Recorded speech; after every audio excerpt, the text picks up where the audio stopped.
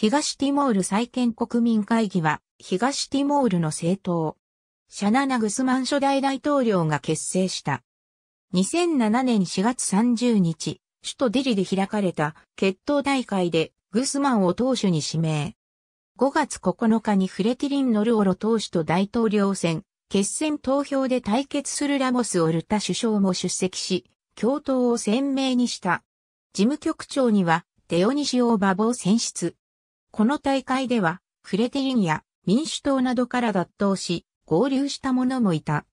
2007年6月30日に行われた議会選挙では18議席を獲得し、議会第2党になった。同年8月8日、反フレティリンで一致した4党による連立政権が発足し、グスマンは首相となった。2018年5月に議会選挙が行われた結果、人民解放党、クンツで組んだ政党連合、変化と進歩のための同盟が第一党となり、全議席の半分以上を獲得し、東ティモール再建国民会議は2017年9月以来、与党へと返り咲いた。ありがとうございます。